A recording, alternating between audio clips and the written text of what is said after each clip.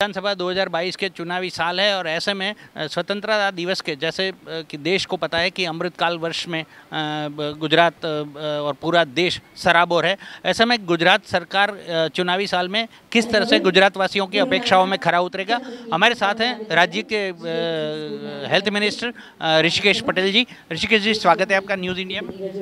किस तरह से चुनावी वर्ष में गुजरात की, गुजरात सरकार जनता की अपेक्षाओं पर खरा उतरेगी? अमृतकाल में गुजरात की ओर से सभी देशवासियों को इस दिन की खूब खूब आज़ादी पर्व की खूब खूब शुभकामनाएँ।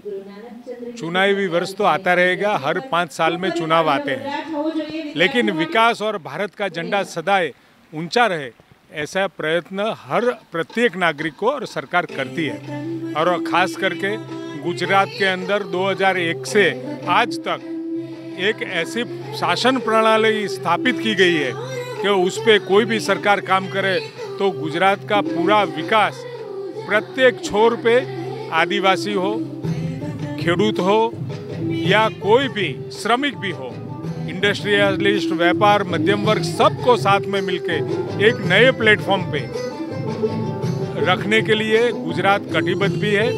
देश में गुजरात मॉडल की तरह उभर आया है। इससे निश्चित रूप से आने वाले दिनों में गुजरात से लेकर देश का विकास बना रहेगा। कैमरामैन जसू के साथ मेहुल जाला, न्यूज़ इंडिया, अहमदाबाद।